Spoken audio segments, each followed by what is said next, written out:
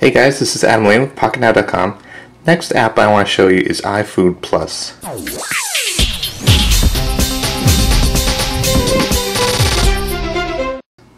Let's launch that. You got your splash screen. And here we are. Here's our menu. We've got some really nice graphics in the background. It's a cupcake. We slide.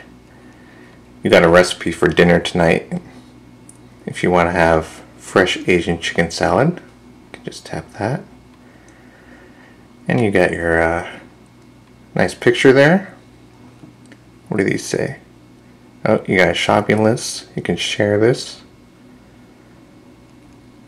That's pretty cool. Here's our ingredients. Your directions and nutrition. And you even got comments from other people about how much they like this recipe. Let's go back. Next you got featured.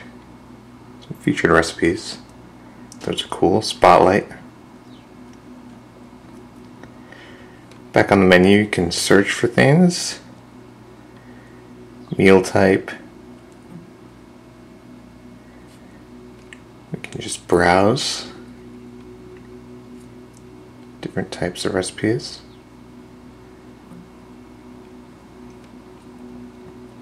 Let's see what videos does.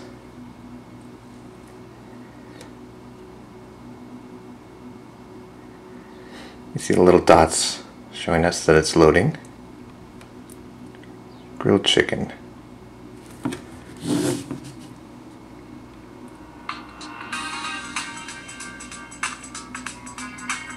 Hi, I'm Jeffrey with the Kraft Kitchens. There's no doubt that grilled food is fast and flavorful, and there's surely no doubt that Kraft Original Barbecue That Sauce looks really good. Barbecued grilled chicken kebabs a family favorite. That's good video quality kebabs, too. I'm using some cut up, boneless.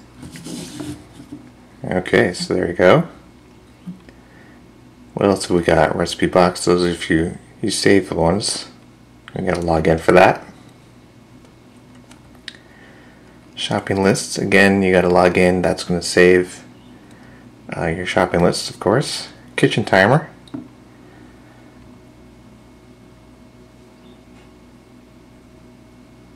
Oh, we gotta log in for that too. Oh wait, that was more. I mistouched. There's our kitchen timer. You can set up your timer like that.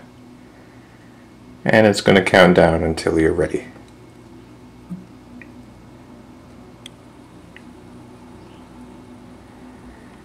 So there we are, iFood Assistant Plus. Really good looking design. A lot of cool functionality. And, uh, you know, really great with the uh, Windows Phone 7 Metro style. So there you go, that's it for now.